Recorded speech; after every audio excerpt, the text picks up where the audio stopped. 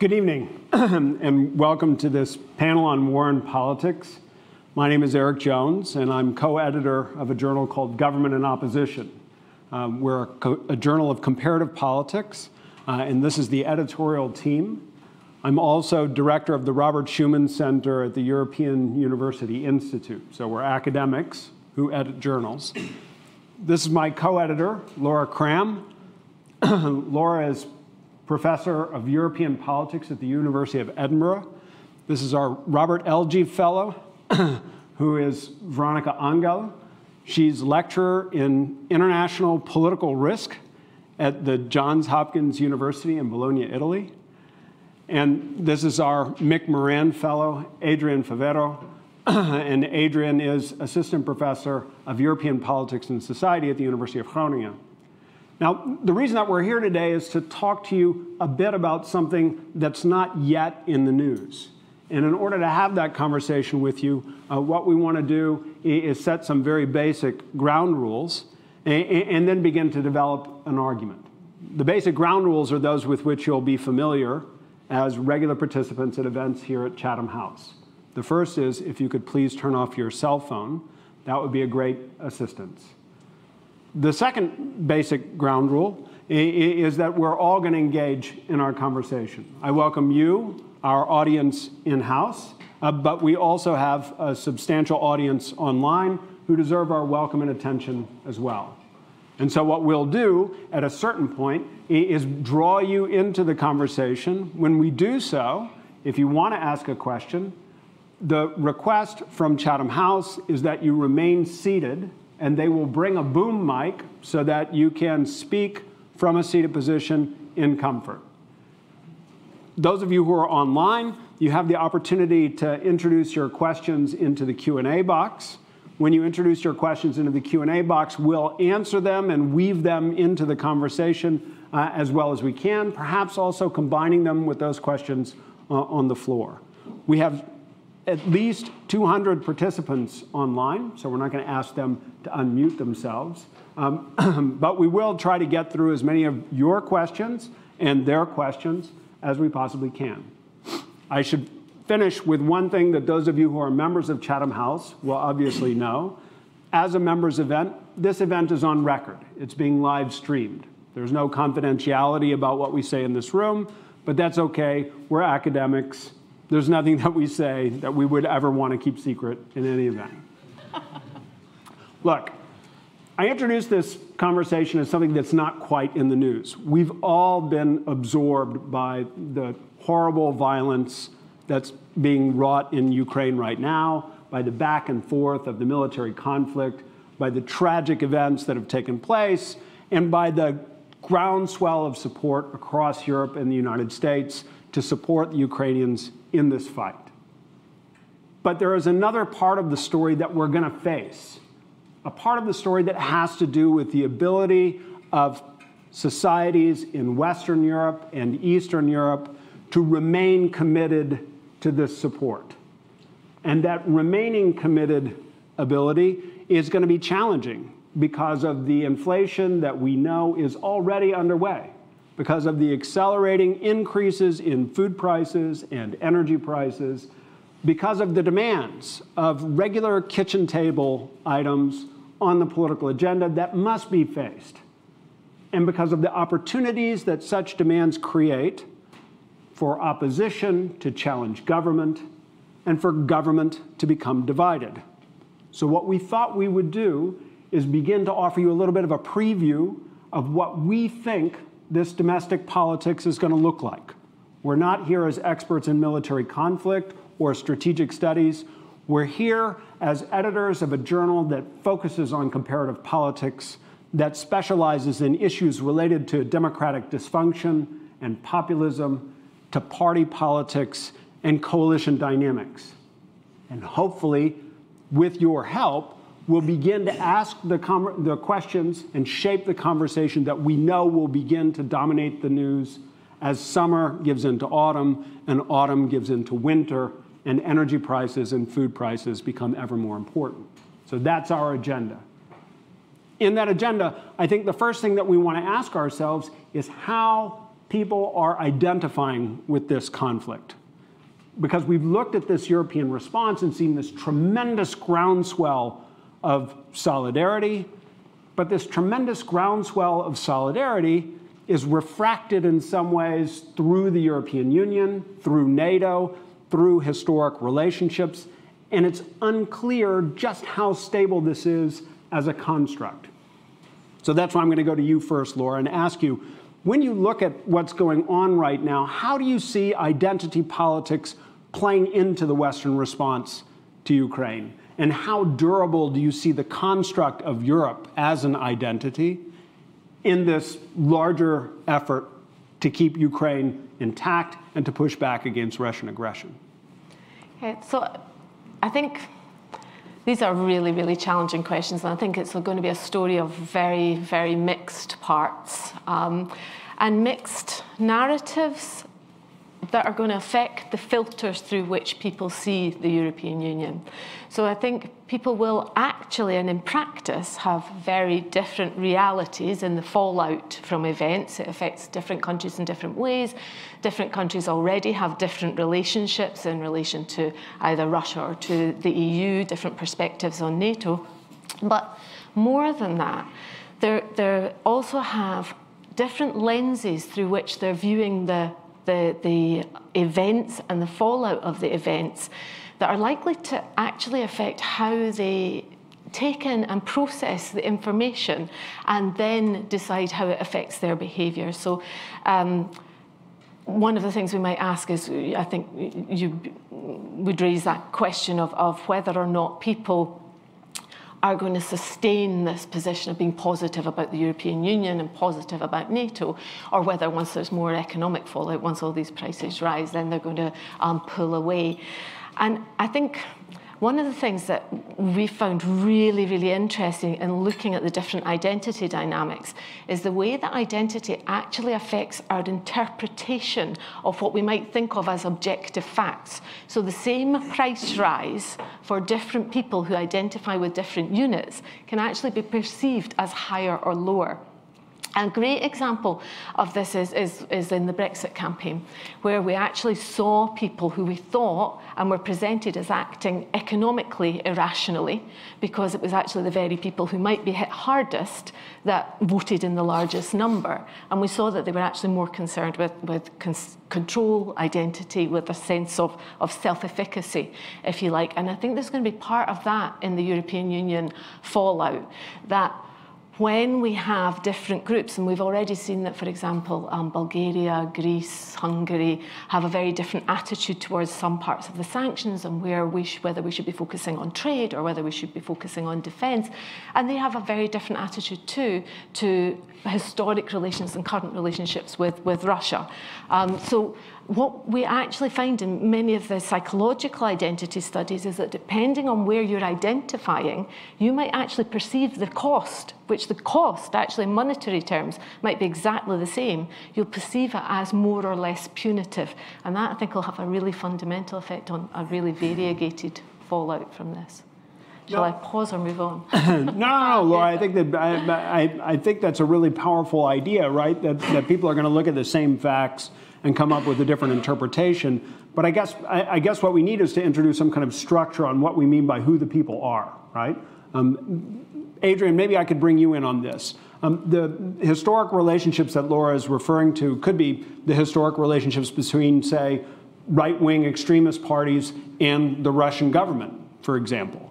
Uh, and, and so, is there a sense in which right and left, populist and mainstream divisions in politics that we see replicated across countries are actually changing fundamentally the way people in Western Europe or Central and Eastern Europe view this conflict?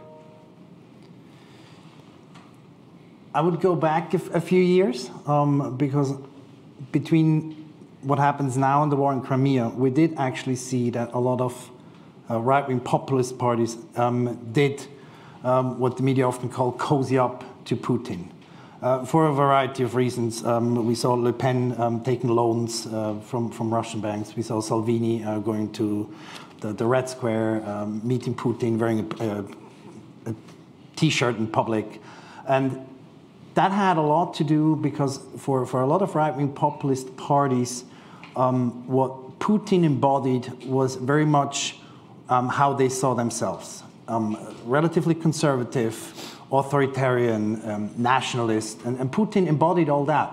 Um, on top of that, also anti-LGBTQ rights, looking at some right-wing populist parties, such as, for example, the PiS in Poland, um, who's not necessarily pro-Putin, but it's an element of a lot of um, right-wing populist parties to be relatively conservative, also when it comes to cultural issues. Now, with the war in, in Russia, obviously that has changed, and a lot of right-wing populist parties did have to backtrack. Um, and uh, I'm sure you have seen it in the media where a lot of newspapers were saying, oh, now we see a shift in, in political attitude. Um, we see right-wing populist parties backtracking and, and, they have to do some, they have some explaining to do. Well, the matter of fact, what we should be aware is that across Europe, just because a party is right-wing populist and, and, shares an ideology with other parties doesn't mean they behave all in the same way. Um, it doesn't mean that, for example, what happened to Salvini, who was publicly humiliated by a major in, in Przemysl at the Ukraine-Polish border, would happen to other parties. Uh, another example is, for example, uh, the ruling party in Poland, uh, Law and Justice Party, who has been throughout very anti-Russia for historical reasons. Uh, so when we talk about potential shifts in party politics, also looking at predominantly at the populist political right, um, we should be aware that they're not all the same and they don't also have the same agenda, depending on the different countries. There are some um, pre predominantly uh, Salvini, as I've mentioned, and also Le Pen, who uh, I think before the campaign they had to destroy 1.2 million leaflets where she did a handshake with Putin. It was a bit of an embarrassment.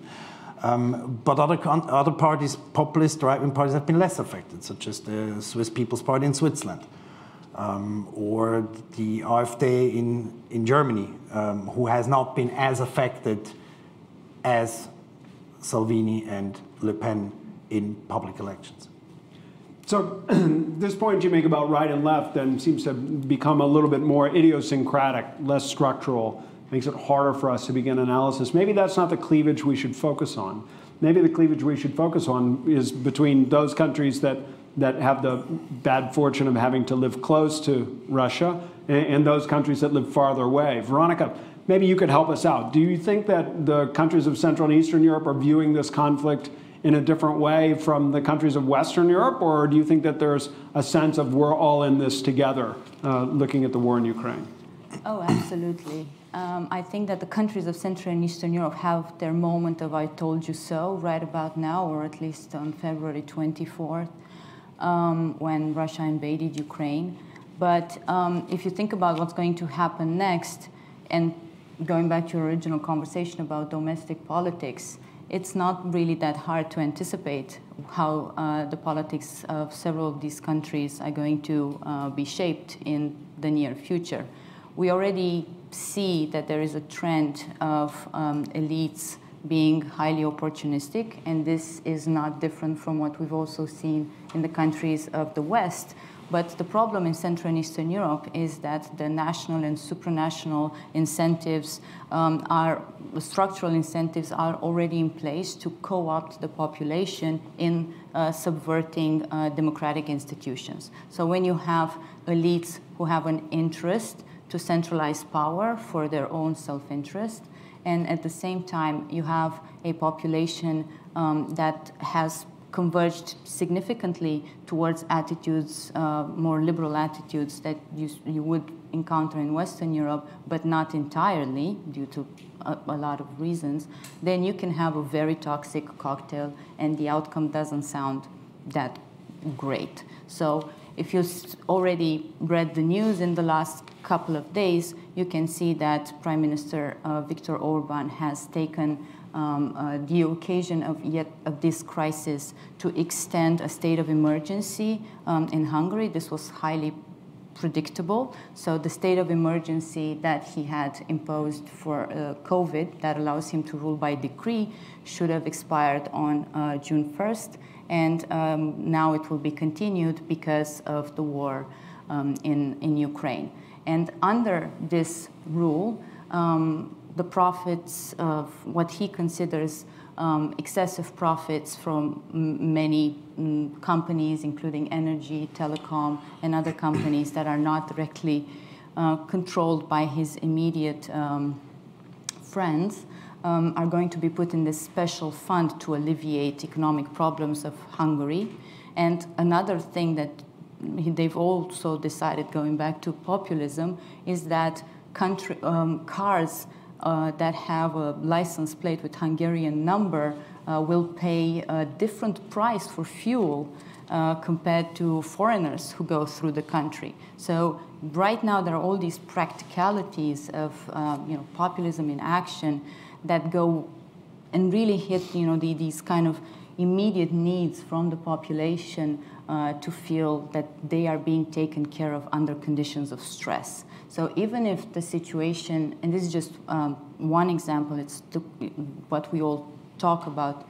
Maybe we can come back with what the EU is doing uh, to take care of this uh, or to not take care of this kind of situations. But you have other countries that are flying below the radar, such as Romania and Bulgaria, whom rarely talk about, who are also members of the European Union and where reform has been stagnating in terms of you know, corruption, transparency in public procurement, um, um, all, all, sorts of um, uh, the independence of ju- judiciary, uh, the, um, the have, having different uh, media outlets to not control the information environment. And, and these have also stalled under the, the conditions of these crises.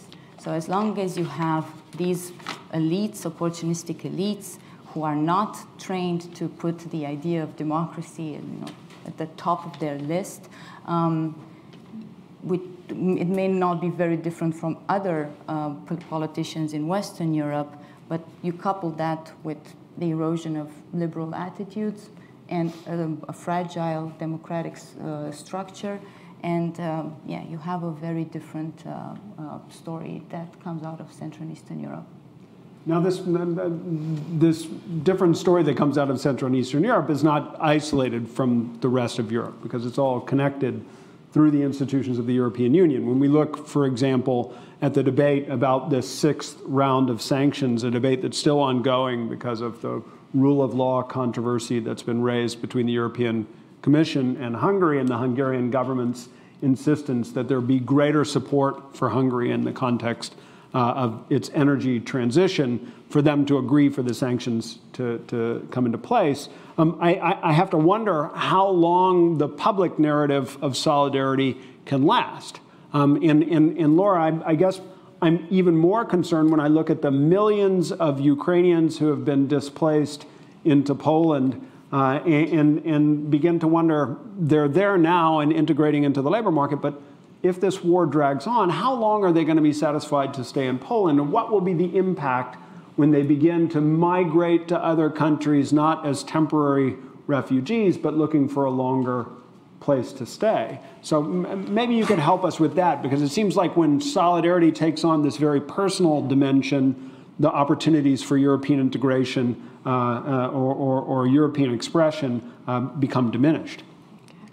Yeah, I mean, I think, I guess, like our great starting point with all of this is any sense of European identity, no matter how vociferously it's, it's in, embraced in, in these kind of moments is contingent and it is contextual. And that's always been the, the story, um, not, not just in the European Union, but at, at the national level. We're willing to um, assign much more support at times where we feel we're getting better benefits from whatever structure we're, we're, we're in. And that was really the classic of, of Karl Deutsch's understanding of functional nationalism, that we would um, when we would quite willingly, in fact, and sometimes people see this as quite controversial because they're quite attached to their national identities, but that we would quite willingly transfer our identity up or down the scale of authorities if we felt one was satisfying our functional needs better than another. Um, and I think that's where your, your question really arises that at the moment, there's this embrace and we're all Europeans and how can we welcome everybody in. But um, Helen Thompson, our, our colleague at, at GNO and also a distinguished English professor, um, um, has written about that rather thin um, veneer of this notion of Ukrainian European identity, and that that will be sorely tested uh, as these issues come up. But I think there is something in that story, though, from the Deutschian perspective that gives us maybe not, not hope, but brings more nuance, which is that it really that functional benefit that you get from identity doesn't have to be economic. Um, and that actually a sense of belonging is um, something very rational to pursue. And it helps us explain the initial uh, creation of the European Union. It helps us to explain the banding together just now, and very much in the story of it almost as a security community, which is part of the, the, the, the one of the early interpretations of this type of um, bonding together, again, a, a Deutschian perspective. And I think when you start to look like that, that gives you some slightly different questions to ask, because that's when you do get the question of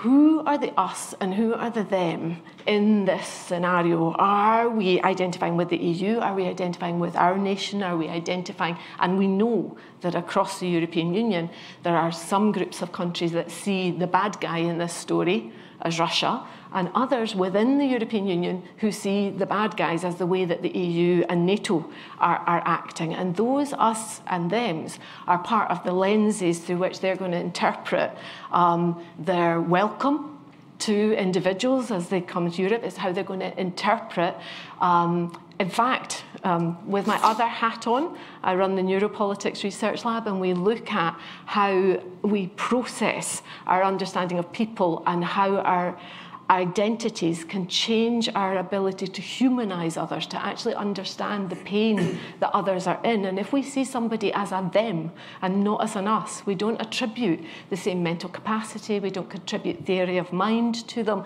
and we're actually quite able to be quite punitive ourselves with impunity, if you like. So I think that will be part of that variegated story in terms of how the fallout will come, and a lot of it will depend on the narrative of whether or not the EU maintains this, this um, sense that what we're doing is good, we all belong together, we have to be in this for the long haul, and whether those narratives can carry far enough to affect the filters through which people interpret, because facts are not really facts, they interpret the, the realities. So what you're saying, Laura, actually raises two questions, and I think one of them I, I would address to Adrian. And it actually was asked by Amaric Conry online. Um, and, and the question is, Adrian, you know, if we talk about Deutschian security communities, you know, is there really the possibility that the populists, either within countries um, Western European countries, the populist politicians, or the populists who control Central and East European countries like Orban will look around and say, wait a minute, Russia is not our ally. Russia is, is actually our threat. And the only allies we have are in the West. And they'll, they'll break with this past behavior that's proven so problematic and, and, and become more part of the security community, the, the shared identity, the political project. It's a good question. Um, well, number one, it's the nature of a populist party not to side with the elites. So that, that's sort of the ground floor. That as a populist party, I always side with the pure people um, against the corrupt elite. So therefore, it's sort of a difficult starting point to say, are they becoming part of this whole narrative where we're all like one and we all want security? Of course, um, as I mentioned before, they had to backtrack some of them, um, and, and some of them are also now realizing they are currently, with the current events unfolding, they're not powerful enough to have much of a say. Um, because Laura mentioned before that um, we're having this moment of, of identity, but it's not a, a, a, moment that is shared across Europe because some part, uh, countries have a different view than others. And that is also very much then met with actual politics because having this moment of identity is fine and saying, hey, we're more united as, as, as an EU or also as a NATO where we have two new countries maybe joining or not. But that also has to be met with current politics. And in most countries, we don't see populists in power. Uh, in most countries, it's the so called mainstream parties that have to figure out what are the next steps. And it's also the mainstream parties that are largely in charge to continue with this moment of identity. And, it, and, that's hard work, right? We, see, we saw lately. Um, if you've followed the news, uh, there's this debate uh, it, was Germany too late um, in participating with hard weapons? Why is the Chancellor Olaf Scholz not visiting Kiev? Everyone else has, right? And that's a debate that is bypassing the populist parties because they're not in charge or in a position where they can influence current policies and what to do because at the end of the day it's very much hands on what are the next steps and identity is part of it, and sort of this Europeanization of of current political affairs is part of it, but it's also the states that decide what to do. And in most states, Poland being the example, um, Hungary being another example, um, where populist right-wing parties are in power, but in most states it's very much the mainstream parties. And uh, I would like to add this, um, while the war in Ukraine is unfolding, um, unfortunately, uh, European societies, as any other society, also has a, a bit of a tendency um, to be very excited and following an event when it happens. Um, and the longer it takes, um, the more bored we get. Um, it's a bit like watching a four hour movie when at some point we're like, okay, that could have been shortened to 90 minutes. It would have been more interesting. Um, so, what I want to say is countries are also faced with other things that are still happening, right? There's still COVID. Um, I've just seen today that in the UK now we talk about the Partygate again. Um, so there's these other issues where then populist parties may focus on that because it's more beneficial to look at these issues and it's for to um, gain support by um, their fellow countrymen instead of harping on with the war in Ukraine that is very much um, being dealt with at the European level or national level by so-called mainstream parties. So this response to the first question that, that Laura's comments raised, I, I, think feeds right into the second question. It's something that Hans Kundnani is, is asking online in a couple of different issues, and it's all about European identity as a kind of an imagined community. Uh, but, but it's, I think, given a, a sharper point by something that Oded Meyer asks, Let's imagine, Veronica, that, that in this context of solidarity, all Europeans are to be treated equal, but as, but as Adrian says, it's the states that decide. I don't think all states are going to be treated equal. And Oded Meyer's point is all those people who want the movie to end more quickly, how much agency are they going to allow the Ukrainians in deciding the peace? Uh, and, and if they don't allow the Ukrainians that agency, what are they really saying about the Ukrainians as members of the European community because if we force them to settle early, are we saying that they have, they have a lesser standing from other parts? Okay, so that was 20 questions. um, all right, so, okay, let's talk about the war, right? And I'm, I should have say as a disclaimer, I am from Central and Eastern Europe, so pardon the doom and gloom. It it's not going great, right? We keep having this kind of wishful thinking scenarios that at some point it will stop, the movie will end uh, sooner rather than later. There will be some territories given up by the Ukrainians, and, and the Russians, having realized what a great mistake they've done, they will now live in peace and harmony with everybody else. And um, that is just not how things are going to, to look like. Um, no matter what happens in these occupied territories, you will have insurrections that are the outcome um, of the Ukrainian politics and Ukrainian people's agency, and also a highly militarized, a highly radicalized uh, part of the of the army and the population as well. You also have we also have to remember that you know Ukraine borders NATO countries, several NATO countries. That means that they will have constant access to uh, regroup, to get um, uh, more uh, resources, uh, to get military uh, resources as well. So this is not something that's going to end soon, and we can't really think of, of that possibility. Um, uh, and just thinking about it would, is really doing everyone um, a disservice. But going, and that's one thing. The other one, thinking about solidarity and how ready people are to support Ukraine in the, in the long run and how they perceive themselves in the East. So the whole conversation right now is about these buffer zones, right? That there was a, a structural plan to keep certain areas in this very you know ungodly way in, in, a, in a twilight zone that is neither east nor west as long as they are in a buffer zone between uh, the east and the west. And through desire through agencies through different conditions a lot of people said no to that. But we have to in ukraine in moldova in georgia in other places. The role of this strategy that you might find or might associate with Western countries or the US or even NATO, nevertheless has also had an impact in the way that countries create their own uh, politics. And this goes back to what also Adrian was saying. The countries of Central and Eastern Europe were also glad to buy into the whole buffer zone further to the east as the Russians are moving closer, they're starting to feel like, oh, so now are we the buffer zone?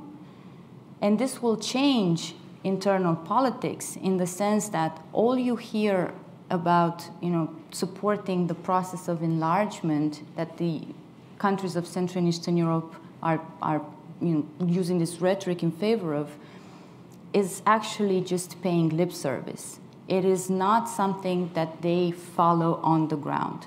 They do not invest in the enlargement process of either European Union or NATO through diplomacy, through intelligence, through army, through anything, because it's also in their strategic planning to have these unfortunate buffer zones between themselves and Russia. And this is just you know, real politics that also exists in the East. And in this way, these countries are not any different. So, yes, there is solidarity in trying to keep these countries, unfortunately, in these twilight zone, let's call it that way, keeping them closer to the West, but not fully in the West, not sharing that many resources with them, but some resources with them, keeping them in somehow our, our sphere of, of influence, but not really being responsible for them because we don't have the bandwidth to deal with other people with kind of politics that are already a, a, problem for the member states of, of the European Union. So it's, it's not an unfortunate situation that Ukraine is in uh, politically right now, though militarily it's going to be supported um, a lot. So, and I will get to you in just a second. I'm going to ask one more question for Laura just to clear out the online, and then we'll bring conversations from the audience in the room. Um, Laura, I guess the point that Veronica is making really has two different aspects to it. You know, one is, you know, is it safe for us to say that despite all these nuances, and this comes from Yusuf Ishik uh, online, despite all these nuances, that European identity has been strengthened, right? That there's been some baseline strengthening of affiliation identification with the European project. Um, and then the other aspect of this, um, which is a question from Beth Laffin, uh, is, is really is it European identity that's been strengthened, or is it Western identity? Is it, is it about NATO and the transatlantic relationship and the security that provides that's been strengthened? Uh, because I think sorting those two things out might help us a little bit in this conversation. Oh, and I think they're also really related questions as well. Um, so, um, yeah, so just at the moment, on the measures, yes, we have seen a rise in attachment to the European Union, and that, that, that is emergent. We've seen quite a lot of positivity about a lot of the activities, um, but that has been linked a lot in the surveys with also attitudes towards NATO um, and a strengthening of a sense of um, efficacy in that, that relationship, which has always been a bit of a problematic relationship. But that also fits, I think, with that question about imagined communities and the fact that there never really was one imagined community of the European Union. There have always been multiple imaginings, and for some people, that imagining always did involve that Western broader NATO um, relationship. And for others, it was never really about the European Union, it was about a broader Europe. And that also relates to that question of where do these boundaries of Europe and where do our historical narratives and even our own reinvented mythological narratives of bringing ourselves back as a, as a broader um, Europe relate. So um, yeah, I think there is a, there is a, a, a, a presented rise. We know that it takes very little to create a minimal group identity, so um, something positive in the short term is there, whether it has the depths and the legs or whether it's actually shared and we're all actually talking about the same thing when we say we're more attached. I think not. I think so. It is a combination of those identities and imaginings. Okay, that's very helpful. I'm going to come back to this as we imagine different ways that this could go horribly wrong, not least because of the political developments in the United States. Uh, but, but I'm conscious that I don't want to use up all this time without bringing in voices from the room as well. So you, sir, you had your hand up. If you could identify yourself when asking your question, that would help us better to keep track of the question flow. Um, actually, it's the person in the second row right here. Hello, my name is Igor Latsanich, and this is mostly uh, towards uh, Ms. Anghel. I wanted to ask, so knowing what happened with the occupations of Ukraine, that being the DPR and LPR, where those were the buffer areas from which uh, further attacks started recently, uh, would you say that Europe's support for Ukraine would continue in order to stop those zones from growing? And if so, would you say that it would possibly include them putting in forces in order to make sure that those that those zones don't increase any more than they have already, or even more than they have by now, because that would once again bring them closer to play to uh, Western Europe, so Hungary and Poland, uh, and so on. Veronica, do you want to? Yeah. Are you referring to the South occupied territories? So for now the South, but once again, yes. move on. So we have every signal that comes from both the United States Army, which is very important specifically, which more or less means NATO, and the countries that are bordering Ukraine, and member states individually, that they will keep supporting Ukraine militarily with humanitarian aid and with um, uh, hitting Russia where they've managed to decide that they can work together and if not individually. So in that area, yes. You've asked whether there will be troops on the ground. No, absolutely not. There is absolutely no indication that there is a desire for uh, to put mm, uh, NATO troops on the ground. And you cannot send either the army of individual member states because even if you don't say it's a NATO operation, you send a Romanian or a Bulgarian soldier, that's a NATO operation. That is too high a risk and it's, it's not uh, likely to happen. What will happen will be covert operations that will also take uh, place um, at different levels of the political, um, yeah, political arena. I should, I should say we don't often speak outside of our comparative politics brief uh, but Veronica Anghel was uh, junior foreign affairs advisor to Romanian President Klaus Iohannis for two years, uh, responsible for the during NATO the desk uh, during the Crimean conflict. So, so we, we allow her to speak off the reservation in that context. Another you, point. sir. We told you so. we told you so. yes, my name is Alessandro Rosselli, Chatham House member. And uh, what is missing, in my opinion, in this conversation, not only in this room, but also outside this room, is uh, what is the final purpose of our policy? The reason for that is that uh, actually there is not a single purpose. There is, a, at least uh, looking from uh, Italy, I would say from Europe, an increasing evidence that the purposes of the Americans are at least slightly, not so slightly different from the purpose uh, the purposes of the Europeans. And having this in, in mind, uh, I wonder whether the purpose of this exercise might be the following. Um, I, I, I, remember a, an American diplomat whose name was George Kennan, and uh, he had uh, the doctrine, exposed the doctrine of containment of uh, the Soviet Union. This policy has been wonderful. We have lived for decades with a Soviet Union, a totally different system, without liberty and so on, but in peace. These, uh, the consequences of this have been sometimes horrible. For example, we did not intervene in, in the Hungarian Revolution. We were basically totally indifferent to that, and other cases. I'm saying this not because I don't want to be so rigid uh, in, in, this, in this matter, but I wonder whether our approach should be different. The, the approach at that time was different because uh, we were very well aware that uh, the Soviet Union was extremely strong and dangerous. Now, uh, after the Soviet Union, we are also aware that uh, Russia is weak, okay? And we have the temptation to do that, to defy Russia. This is, this is bad, in my opinion, because a, a, a weak enemy, but with, uh, okay, the nuclear power, can do things that we cannot, or possibly we can imagine. So I would say the doctrine of containment should be considered again.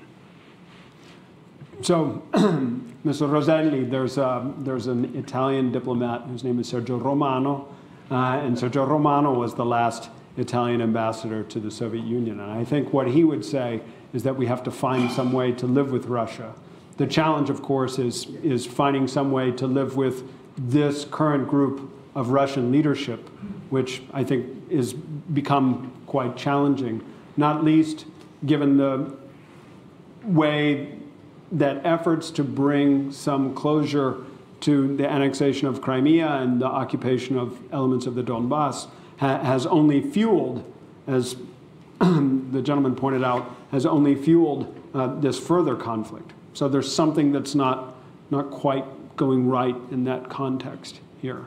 Um, having said that, and, and this is the point I would, I would embrace, I have a piece coming out in the latest issue of Survival that makes this argument we must begin now planning how we will live with Russia in the future because Russia is not going to go anywhere. Um, and the, the question that I have for my panelists is what happens if our planning goes somehow terribly wrong, um, which is the point that you're raising about escalation. Um, if there is an escalation in this conflict, what does that do to the political identities that are in play here? One question.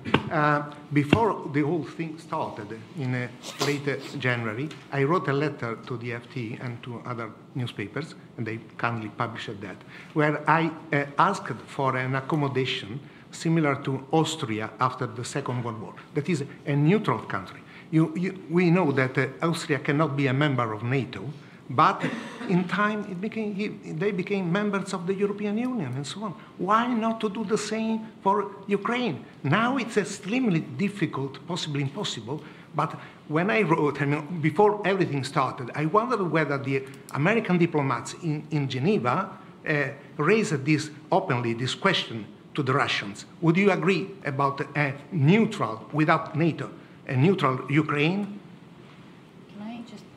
Please, Veronica. So, and then we can go to other questions. Um, that is not possible because that is not Ukraine's option. It's simply put, what Austria decided, decided for uh, itself. Ukraine does not. I, that is what it's a structure imposed from the outside they have agency, and in the end, they're the only ones who can decide what to do. We cannot impose neutrality on a country that's fighting for its own territory and its people. Sir. Uh, Michiel Remmers, a member of Chatham House. Um, I, my, my question is on keeping European unity. Will that be possible if some countries become less and less democratic? And, and how do you see that developing? Because I think that this issue is an issue people try to put put away and put forward or away from the discussions at, at, at, in Brussels, but it's becoming more and more problematic. Uh, how, how, can we keep unity in Europe with, with that going on? Adrian, do you want to give a stab at this one? Yeah, I'm, I'm wondering if the gentleman refers to specific Hungary, and I assume Poland. Poland. Um, because what I would say is you're absolutely right. I mean, there have been uh, illiberal tendencies in, in, both of these countries. Uh, Hungary, uh, there was a censorship of, of the media, um, there was corruption. Uh, the Polish government undermined the, the, the justice system, uh, the media system. Um, there's a lot, a lot of illiberal tendencies going on. However, they have been going on before the war in Ukraine started. So that has been an issue and, and something that the EU had to deal with um, pre previously. Um, the problem is that, and, and this is a, a, bit of a structural issue, the EU has only a limited capacity to interfere with what happens within nation states. So if Poland decides um, to, to fiddle with their justice system, the EU has only so much they can do to tell the Poland, please stick to democratic rules or stick to uh, what we think is democratic. Because, of course, Poland, or if you talk to the Polish government, they would have a completely different opinion because they, they think, no, we're actually doing the right thing. But the, the EU is, is relatively powerless when it comes to interference with what happens within nation states. There are certain elements, and they're, they're usually tied to cohesion funding and, and, money, but they are not as widespread as we sometimes may like. Uh, my name is Mohammed Tentosh, and I'm also a member of Chatham House. Actually, I have two questions. Well, uh, if it's from international like perspective, what is the changes in the international arrangements that should have or that should be done after the Ukraine. Listen, I'm talking about having a reference line of what is wrong and what is right, because you cannot in, in one moment say that what happened, the invasion in Iraq or Afghanistan, or even the, inter, the Russian invasion in, in, in, Syria is right, and you can say like silent about it or support it, or even support it. And the other day you come to see that to say that the Russian invasion to Ukraine is wrong. So what should, how we can build a reference line that we should measure and make actions according to. And the other question is what the change that should be done in the uh, Security Council because if we still support the uh, the idea about the the, the, the, the devil here is Russia, then we cannot keep some devils that control all the world, just four or five countries who are I mean controlling everything in terms of security and, and, and, and, and uh, the, the, the decision in the world, I think. So what change should be done here? Thank you. These are um, these are challenging questions, so I'm gonna I'm gonna let anybody volunteer who wants to answer. Veronica, do you want to? Sure. That's the Texas approach to volunteering. So on the question on how do we preserve unity when we have countries that challenge um, democracy within the European Union at great cost. We have lowered our standards for uh, what is democracy at different levels of the European Union, um, and we are paying in, within the European Union for having done that. So uh, we can see that these countries are now shaping the rule of law culture inside the European Union, and we can see how, at a moment of great stress, Hungary is negotiating for more money when the question is not about money right now. So, at great cost, we are preserving this unity, and it will come back and bite us in the. That's good enough. um, the other question uh, on uh, what, we, what could we do on the Security Council, how to reform it, you can't you can't. This is it. The only question that we can pose um, right now, I mean, I'm not a specialist in this particular thing. I'm sure there are people who, uh, no, now I'm talking like a woman. I have opinions, so it doesn't matter. So um, the, the, you can't change unless you change the goal of it. So the question is how much do we still take into account what the Security Council does when it is a, um, um, a body that is dysfunctional in, at the right times, right? So that is, um, that is the, the, the, larger question here. Adrian, do you want to do the right and wrong? Yeah, um, because I think it's, it's interesting. It's also a question that I got often asked by my students. Like, why is America allowed to invade Iraq and, you know, and Russia is not? Like, why are we behaving differently? Um, why is different? Why are we talking differently about it? Um, why are we taking different actions? And I think uh, one thing that came to mind when you asked this question was uh, John Mearsheimer. And John Mearsheimer said, in a, in a world where there's anarchy and there is, um, and I, am aware that it's controversial to bring John Mearsheimer into this. I'm using a quote. um, he said, in a, in a in a situation where there's anarchy and nobody trusts each other. You'd rather be Godzilla than Bambi. Meaning that, unfortunately, or that's just the way it is, um, we say all states are equal because there's no power above the states, but matter of fact, some states are more powerful than others.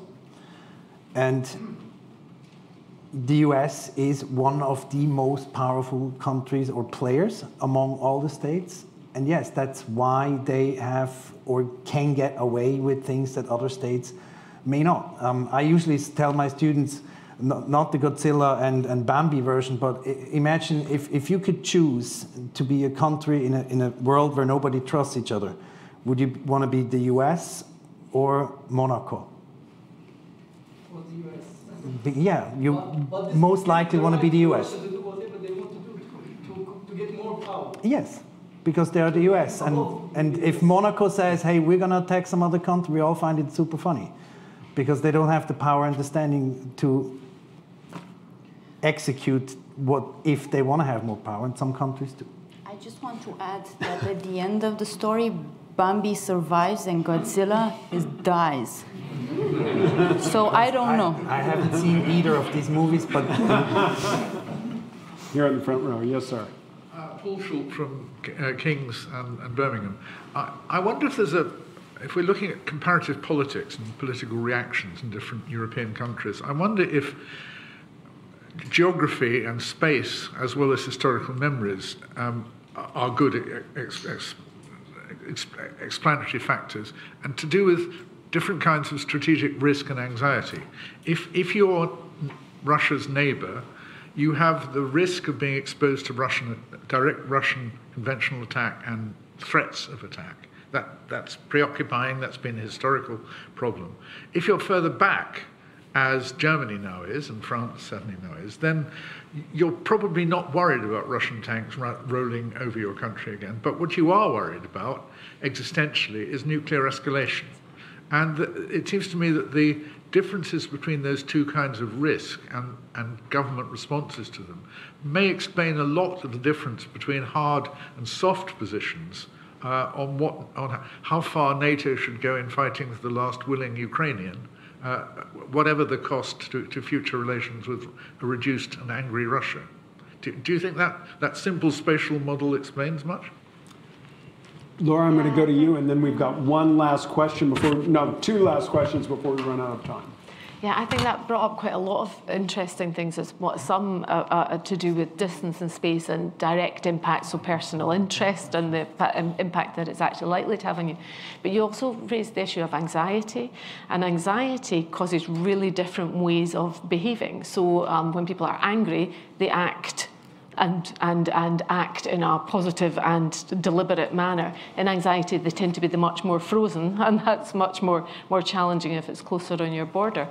But we're also, I think, even at a distance, we're seeing the effects in a very real sense in practice and in identities. You know, if you look at the, the um, Northern European countries that are having to really reconsider their whole self perception of their own identities as neutral spaces, Um, today, in fact, in the, the Times, they ran a poll on Scotland's attitudes to NATO. And, and that's really profound and related to their internal identities in terms of what might happen in the next referendum. They very successfully kept that whole thorny NATO issue out of um, the first referendum. But now we've seen that's come right back up to the top of the fore to do with the Ukrainian crisis. So even at a distance without an immediate threat, really digging into deeply intrinsic aspects of identity, internal politics, and um, yeah, what you can and can't keep on and off your agendas in a, in a threat scenario. Okay, I'm, i regret that we're pressed for time, so we're going to go to the gentleman here and the woman here, um, and then we'll let the panelists respond, and then we'll close uh, at uh, uh, 7 o'clock. Is it really possible Ukraine can defeat the beast from the east? And what's the cost of it, despite having NATO as well as independent countries supporting it? That's question A. And the B part of it, now we were talking already in the media that war crimes, the war hasn't even finished yet. Who are we going to take to the war crimes tribunal? Is it Putin? What about the other criminals who involved in other parts, say in the Middle East? They committed massive war crimes. Are they going to be subjected to the same allegations? And you, madam? I'm Nikki. I'm a student at King's. Uh, so first question is about China. How big role China is playing in this sustainability of uh, European solidarity that we reached now? And uh, do you think that's part of the reason why Central European countries are not willing to move more decisively uh, and into like uh, European Union? Uh, and the second question actually is a following question on the challenge on democracy. So is there a bottom line in which we think you know this unity is not uh, you know worth preserving if that's so much you know cost have been cost on the democracy. Thank you very much. Well, excellent. I think that gives us that gives us plenty to finish on in the last two minutes of our conversation. Um, Laura, shall we start with you, then go to Veronica, and then go to Adrian? So if we're in the short, I'm just going to start straight with that democracy question because I think it's really interesting. I think it's part of those stories of the imaginings of Europe, and many of them that were. Um, nirvana fallacy imaginings that it never was as dem- democratic as all that, but in terms of whether or not it can backslide and how far it can backslide and whether it's worth maintaining, I think you have to just ex- realize how far institutionalized many of the interests are in the maintenance of the European structure. And that over the years, whether it's been the Eurozone crisis or other crises, we've seen lots of times of the thinking of it's ECRIP, it's the end of the EU, it's all going to collapse. And there's been a remarkable institutionalization, res- institutional resilience, if you like. And I suspect, whether we like it or not, that even in terms of democracy and democratic backsliding, that entrenchment is likely to be there and it's not just going to collapse on that, that basis. Veronica? I was doing some calculations on how much it's going to cost for uh, Ukraine to, um, to win the war. We have $40 billion from the United States.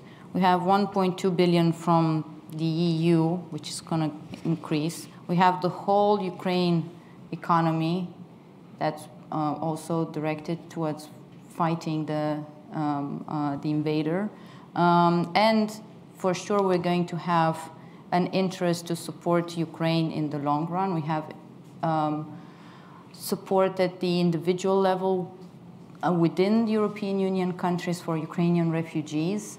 There are a lot of resources that are going into this.